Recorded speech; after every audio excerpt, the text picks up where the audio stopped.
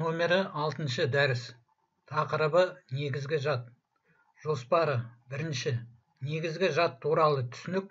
Екінші. Оперативті сақтау құрылғысы. Үшінші. Тұрақты сақтау құрылғысы.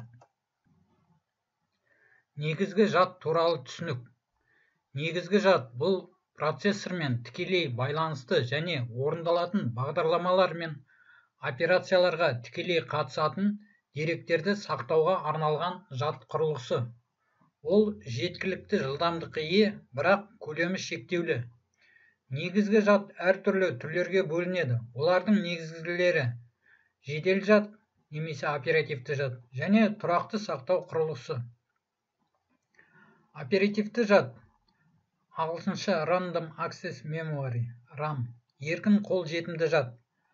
Компьютер жұмыс істеп тұрған кезде орындалатын машиналық код бағдарламалар, сондай-ақ процессор өңдейтін кіріс, шығыс және аралық деректер сақталатын компьютерлік жад жүйесінің энергияға тәуелді бөлігі. Жадтың адрестелуі міндетті шарт болады. Оперативті жадтың орталық процессормен өзара әрекеттесуінің қарапайым сызбасы мына суретте көрсетілген. Мұнда микропроцессор, оперативті жад, енгізу шығару құрылғылары жүйелік шина арқылы байланысады. Процессор мен жад арасындағы мәліметтер алмасуы екі түрі бар, тікелей немесе екіншісі жоғарғы жылдамдықты жад арқылы. Нөлінші деңгей арифметикалық логикалық құрылғының регистрі немесе кеш болса, онда сол арқылы жүргізіледі. Жаттағы ақпарат компьютер қосылып тұрғанда қолжетімді болады. Қысқа мерзімді энергияның болмай қалуы жаттағы ақпараттың жетіспеуіне, тіпті жоғалуына әкеледі. Компьютердің аналық тақшасының энергияны үнемдеу режимі оны ұйықтау режиміне әкеледі. Ол кезде оперативті жадтың ақпараттары арнайы файлға жазылады. Жалпы жағдайда оперативті жадда операциялық жүйенің мәліметтері мен орындалуға жіберілген бағдарламалар болады.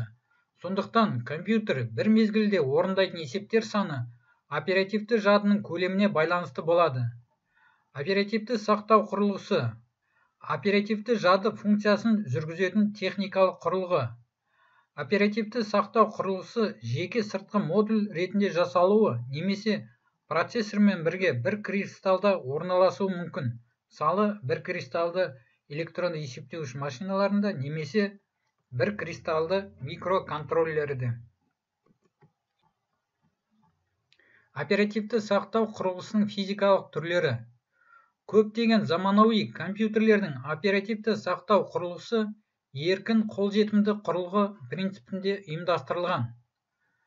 Сақтау құрылғысының үлкен интегралдық сұлбасының жартылай өткізгіштерінен тұратын динамикалық жад модулін білдіреді. Динамикалық түрдегі жады статикалыққа қарағанда арзан тығыздығы жоғары. Сондықтан сол кремниялық құрылғы кеңістігінде жад ұяшықтарының көп бөлігі орналасқан. Бірақ та оның жылдамдығы төмен. Статикалық керісінше жылдам жад бірақ қымбат. Осыған байланысты оперативті жадының көпшілігі динамикалық жад модулінде тұрғызылады.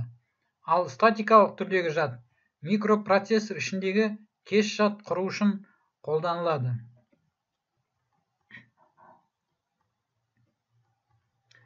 Динамикалық түрдегі жад. Ағылшынша Dynamic Random Access Memory. Үнемді түрдегі жад. Разрядты сақтау үшін бір конденсатор мен бір транзистордан тұратын сұлба қолданылады. Мұндай жад біріншіден қымбаттылық мәселесін екіншіден ықшамдылықты шешеді. Минустары да бар. Біріншіден конденсатор негізіндегі жад жай жұмыс істейді. С рамда с рамда кернеудің триггер кірісіндегі өзгеріс оның күйінің бірден өзгеруіне әкеледі. Ал конденсатор негізіндегі жадтың бір разрядына бірді қою үшін бұл конденсаторды зарядтау қажет. Ал нөлді қою үшін зарядсыздандыру қажет. Бұл триггерді ауыстыруға қарағанда ұзақ операция болады. Екінші минусы конденсаторлар зарядтың ағылуына бейімді. Басқаша айтқанда уақыт өте конденсаторлар зарядсызданады. Әсіресе сыйымдылығы аз болған сайын тезірек зарядсызданады. Разрядтар онда статикалық түрде сақталмайды. Уақытқа байланысты динамикалы ағады. Сондықтан жадты динамикалық деп атаған.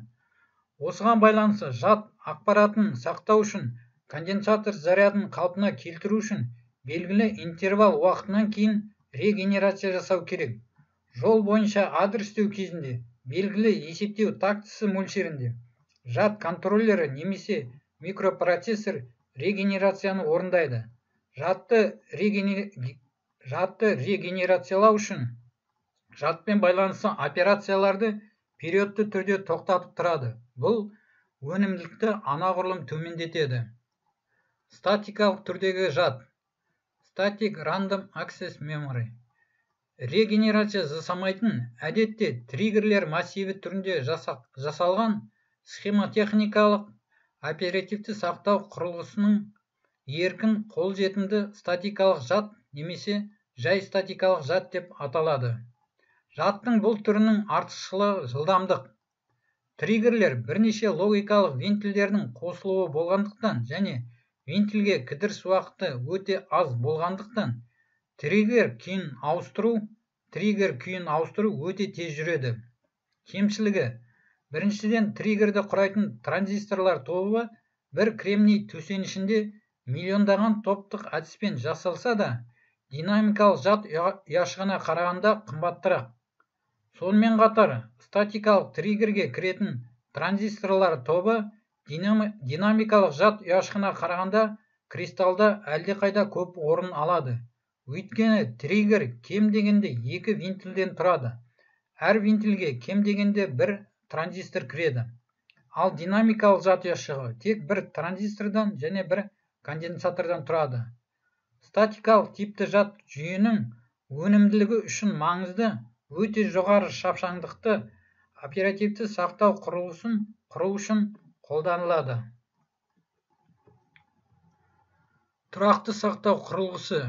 Өзгермейтін мәліметтер массивін сақтау үшін қолданылатын энергияға тәуелді жад классификациясы. Жасалу түрі бойынша екіге бөлінеді. Мәліметтер массиві таңдау құрылғысымен бірлескен екіншісі мәліметтер массиві өздігінен болады. Тұрақты сақтау құрылысы микросылбасының әртүрлігі бойынша алдымен кристалды дайындау технологиясы бойынша келесіде бөлінеді. Ром фабрикалық тәсілмен дайындалған жазылған мәліметті өзгерту мүмкіндігі жоқ.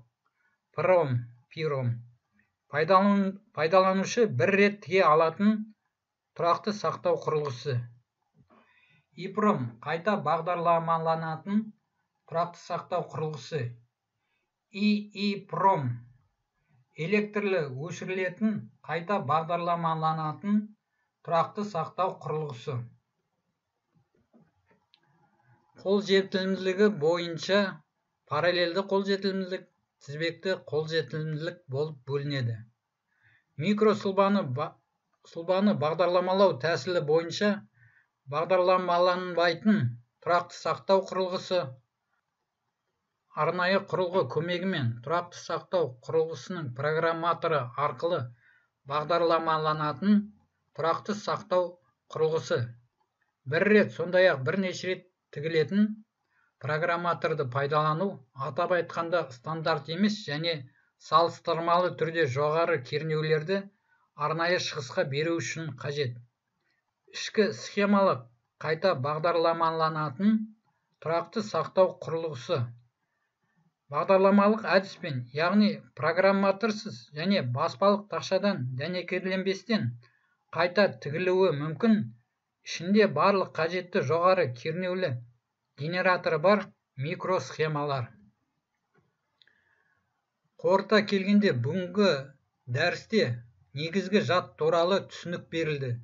Негізгі жадтың түрлері оперативті сақтау құрылғысы және тұрақты сақтау құрылғысының түрлері және олардың атқаратын қызметтері туралы баяндалды. Дәрістің соңында бекіту сұрақтары келтірілген осымен дәрісіміз аяқталды.